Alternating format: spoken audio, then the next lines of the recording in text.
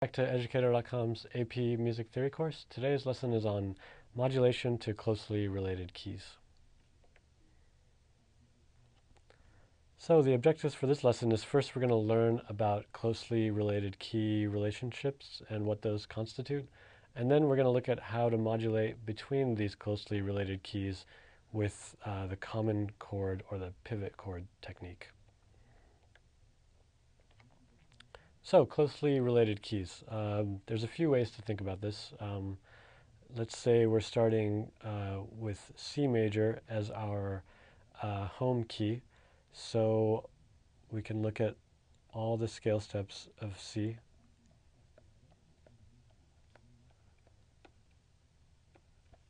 So we've got one,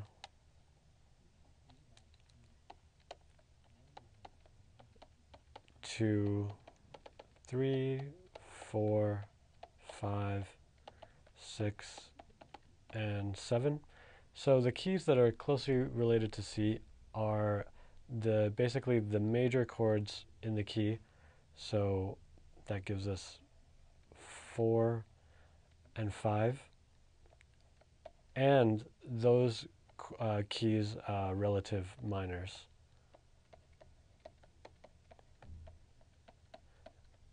And of course the relative minor of C itself. So if we're thinking about what keys are closely related to C major, we find that one of them is, first of all, A minor, because it's the relative of C major. And then we have F major and its relative D minor.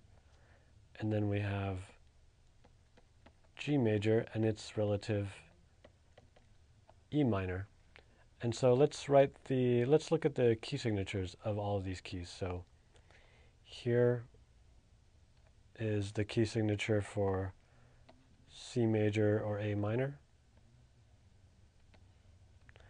And then here is the key signature for F major or D minor. And finally, here is the key signature for G major or E minor.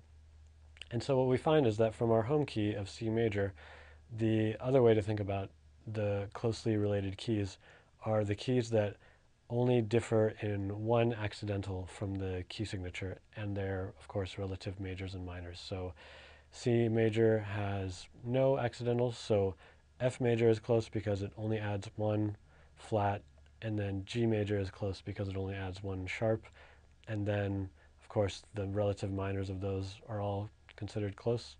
So in the end, we've got C major, and it's closely related to a minor, F major, D minor, G major, and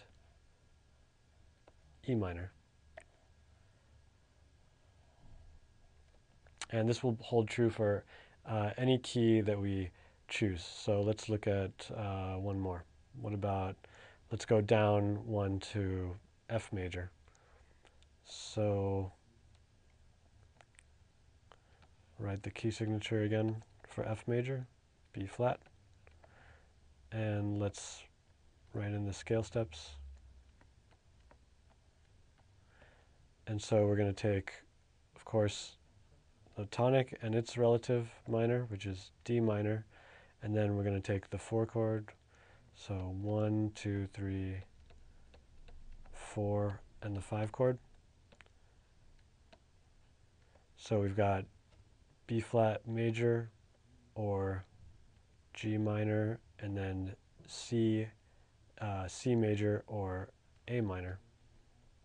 So we can make a similar diagram for F major.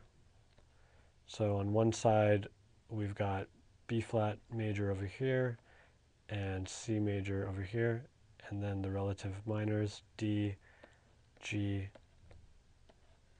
and A and we can confirm the rule about the uh, accidentals in the key signature by going up here and drawing them in. So F major has one flat, and then B flat major has two flats, and so does G minor. And then C major, of course, has no flats or sharps, and A minor. So this again adheres to this rule of uh, differing by only one accidental uh, from the home key of F major.